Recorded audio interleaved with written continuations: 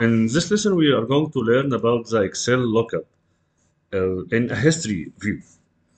I will classify them into three categories. The legacy or the old one, which include VLOOKUP, HLOOKUP match and index, and many more, and the modern XLOOKUP and the filter, which is the only spill lookup formula. And if you know how to use XLOOKUP, you don't need any of the legacy. So if you master XLOOKUP, you don't need VLOOKUP, HLOOKUP match and index. Legacy and modern lookup share the same concept. They start with a search value. They search in a table. They can return a result. All the legacy can return only one result, but the modern XLOOKUP can return more than one result. And we have a very important search type. None of legacy or modern lookup can handle duplicated result. If there's a duplication in the result, only the first occurrence will come. The only function in lookup that can handle duplication is filter. Let's start. In this Excel file, we have three sheets, the HR list, match and index, and lookups. I will start by transfer this range into a table. But before doing so, I'm going to move the social security ID to be the most left one. Why I do so? Because we have a problem with VLOOKUP. VLOOKUP can only search with the most left column. So if I intend to search with the phone, the phone must be on the left. If I intend to search with the social security ID, it must be on the left. Now, I will create a table based on this range using Control T from the keyboard. So now I have a table named Table1 that refers to all the staff member in this file. I can rename the table to any other name. I'm going to name it as staff and hit enter. Now in a new sheet, I'm going to fetch the header of my table, this header, to be a column in this sheet. So I'm going to use my table name, which is staff, using square brackets hash headers. Now we have the header, but in a row. To make it into a column, I will transpose the result. Transpose is a new spill formula. We have transpose before, but it was not a spill formula. Now transpose is a spill formula that can return more than one result.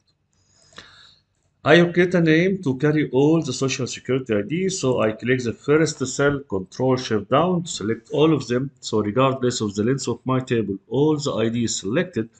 Now from the keyboard, I will use control shift F3 to create a name using top row. Hash sign is not accepted as part of any name in Excel. So when I hit OK, we will create a name only SS. If I go to the name manager, we'll find here one name SS. Now in this sheet, I will create a list here with all the staff member ID. So if I select any ID, I need the whole information. To do so, I will use data, data validation. I will allow a list. This list is equal to SS, which is mine. now we are going to use VLOOKUP to return the information. We're going to use XLOOKUP to return the same information. I'm going to use filter to find how XLOOKUP is working a different way than VLOOKUP and how v XLOOKUP solve the problem we have in VLOOKUP. Right now, we said we have the first problem in VLOOKUP, which is we can only search using left column.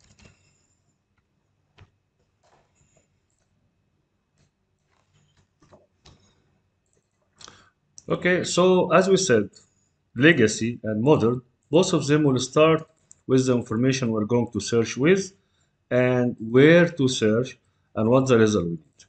So for VLOOKUP equal VLOOKUP, I can see here VLOOKUP requires three information and one optional. I know it is optional because there is a square brackets. I'm going to search for the ID in D1 in my table staff. Here is a second problem.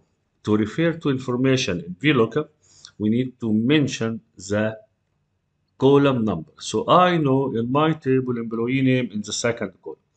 If I hit OK now, I'll get a wrong result. Because the last information in VLOOKUP is required if you need to do exact match. Exact match is false. So we use zero to tell VLOOKUP to try to find exactly this number in my search list. So as you can see here, this ID is for Hector. If I go here, yes it is. Now if I need to do the same, I need to replicate the formula, but I need to absolute the search, which is D1, and I need to change the 2. So if I need the ID here, I'm supposed to use 1, not 2. So I'm going to use 1. So now I have the same ID. Search type is optional for VLOOKUP, which is the last information, the range lookup, but it is required for me as a user. So VLOOKUP actually has three problems. The first one, it can only search using the most left column. The second, VLOOKUP requires column index, which means you have to go back to the table and count two, three, four. And if you change the column mm, location for any reason, the result will be mistake. And the third one, you need to identify the exact search using zero. You, you have to. If you don't identify the search type, you'll get wrong result. If I remove the zero from here, this number is totally different. I'm searching for 914, but I got 183 as a result, which is totally wrong. We, we will know later what does it mean to do uh, approximate. But in this scenario, we need to exact match. So if I need to repeat this one, I need to absolute D um, 1. So I'm going to use F4 from the keyboard. And I need to change the 1 to 2 to 3 and so on. So I'm going to use a function to do so. I'm going to use row. Row return any number in the bracket. So I'm going to use A1. So now I can drag and I'll get the whole information. Yes, we did an easy way, but I still type many VLOOKUP statement. If I have 14 information, I type 14 statement to get the result. Doing XLOOKUP, I can return the whole information in just one click. Just one formula. Because XLOOKUP is as per formula, but it cannot handle duplicated result. So I'm going to XLOOKUP my value, as you said, legacy and modern both start with the search value. Here we don't have to refer to the whole table. We can refer to only one column in my table. So I'm going to search in table staff in social security To refer to a part of your table, you have to open square brackets.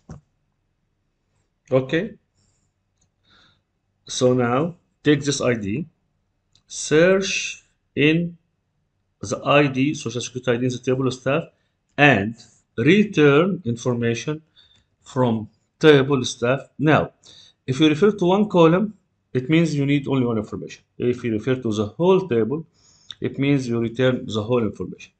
And the most advanced modifications that Microsoft do to the XLOOKUP, if I miss this one, which is the match mode, it will automatically be exact. So if I stop here, of course, I get an error now. This error is called spill. Uh, it has the result, but there's no place for the result. So I'm going, so if we remove this, you can see we have the exact same information, but in a row, we need them in a column. So I'm going to transpose the result of XLOOKUP. So if you transpose the result, it will come in a column. So we use only one function to return the whole information related to any staff member and we solve all the problem from VLOOKUP. Both legacy, VLOOKUP, HLOOKUP match and index and model cannot handle the application. So if we have two staff member by mistake with the same ID, this ID is repeated here. So we have two staff member with the same ID, as you can see here. Neither VLOOKUP nor XLOOKUP can handle this. While filter can. Filter is a different in order. In VLOOKUP and XLOOKUP, we start with the search value. In filter, we are going to start with the whole table. So I'm going to filter my table stuff. Filter doesn't include a search criteria. Filter will include a search condition. My condition is to check the table staff, to check the ID, if it is equal this one. So if we have two, we have two results. And again, if I need them in a column instead in a row, I can transpose the result of filter. I know it is a little bit quick, but if you know how VLOOKUP is working, you will understand XLOOKUP in an easy way. And to be honest, if you know how to use XLOOKUP, you don't need VLOOKUP. Okay, now what about match and index? Before we have a problem in VLOOKUP.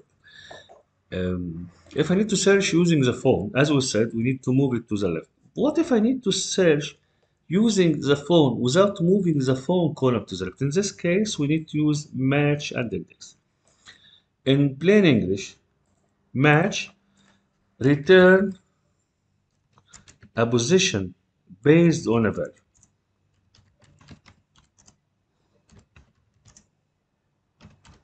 So if I ask match to match 451 in this range, result will be 3, which means it is in third position. If I match here, that will be 4. If I match here, that will be 1.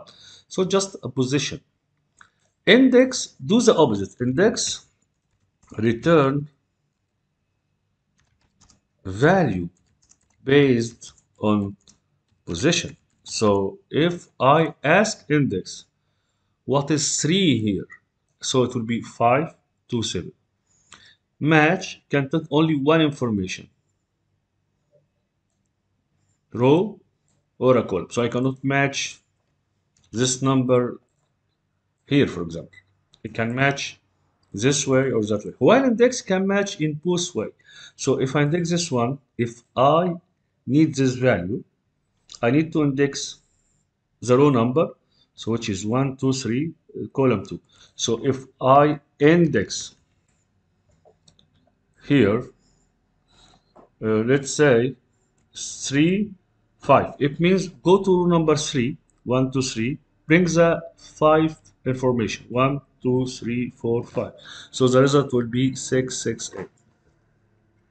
Okay, how to use match and index to search using any column? Let's say uh, again, I'm going to create a name using the phone. So Control Shift F3 to Pro. So now we have a list here, let's say here, with all the phone. So data, data validation, allow list equal phone. Now, if, if I need to VLOOKUP, I'm going to delete all the function here. If I need to VLOOKUP using the phone, I cannot. Because phone is not the most left column. But I can use match and index. How?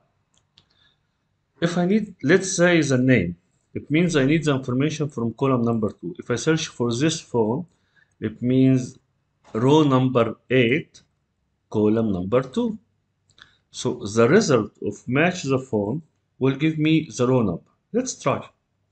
So if I index in my table, I don't know which row, but I know if I match the telephone number in the phone list, I can get the row number. And this match must be a unique one, exact match. Which column? Okay, I need the social security ID, so I need the first column.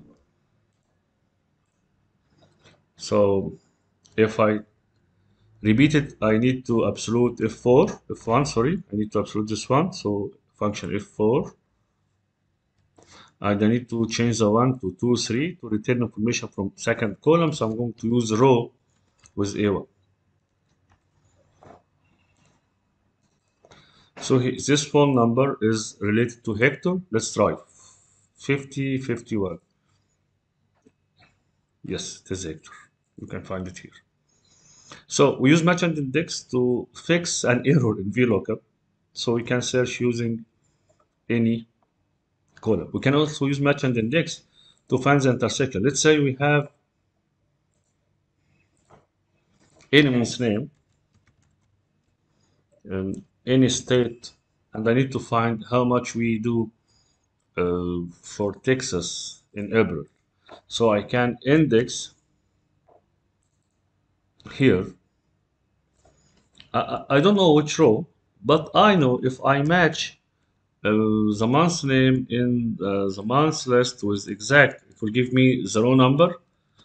I don't know which column, but I know if I match um, the state name in the state list again with zero for exact match. Now, if I index the result of this match and that match in the whole number, I got the correct answer. So let's try uh, April, Texas. Yes, correct. If I try uh, Florida, we get also the correct answer. If I try May, so sorry, May.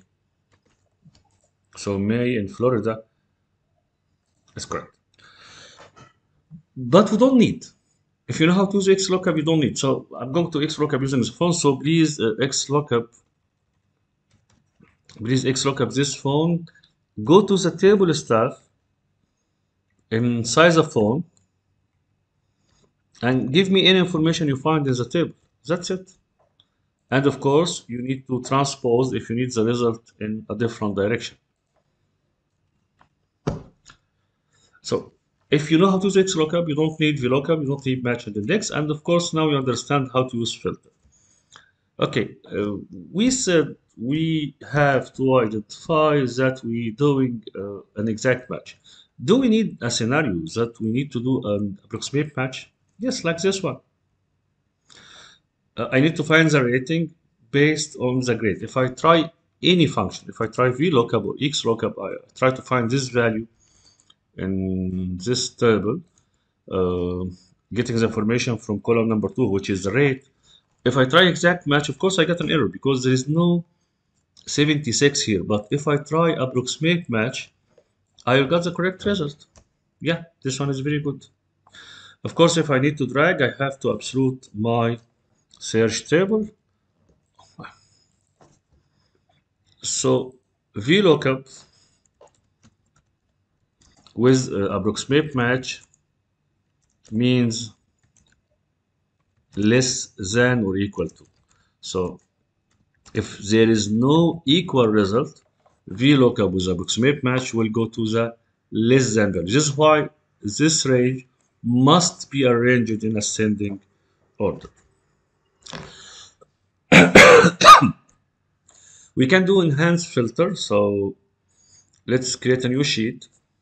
Let's bring the uh, table header here. So staff square brackets hash header. Let's say uh, we need to find anyone uh, who's working in um, in the west building.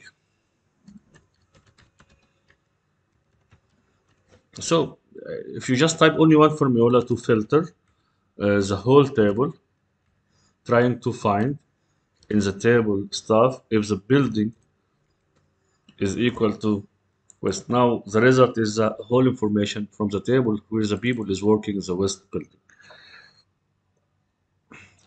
Okay, but how to include two information? Let's say you need people from west building department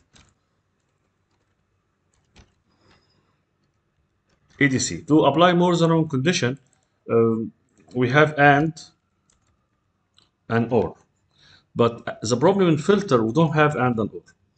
In filter, we have asterisk and plus.